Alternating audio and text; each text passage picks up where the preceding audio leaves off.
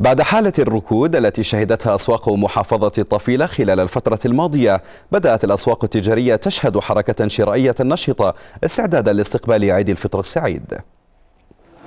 تشهد الأسواق التجارية في محافظة الطفيلة إقبالا كبيرا من قبل المواطنين وذلك استعدادا لاستقبال عيد الفطر المبارك فيما استعدت المحلات التجارية والأسواق الشعبية لهذه المناسبة بعد حالة من الركود الشديد شهدتها أسواق المحافظة خلال الأشهر الماضية.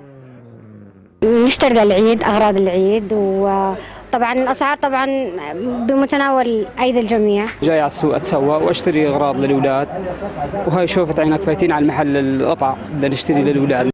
المواطنون اعتادوا في كل عام وتحديدا خلال الأيام الأخيرة من الشهر الفضيل على شراء حاجاتهم من الملابس والحلويات استعدادا لعيد الفطر رغم الظروف الاقتصادية الصعبة. آراء المواطنين في الطفيلة تجاه أسعار حاجات العيد تباينت، بعضهم أشار إلى ارتفاع ملموس فيها وخاصة الملابس نتيجة الإقبال الشديد عليها فيما أكد غيرهم أن الأسعار مناسبة وفي متناول يد الجميع. أنا شايف يعني الأسعار إن شاء الله مناسب يعني. طبعا كل واحد حسب طاقته. يجد كل شيء سعره فيه.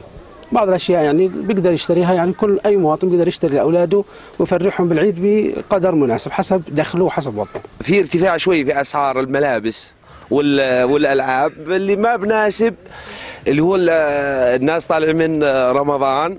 وفي نص شهر تقريبا نص شهر الرواتب. فلذلك شوي الحالة المادية نازلة.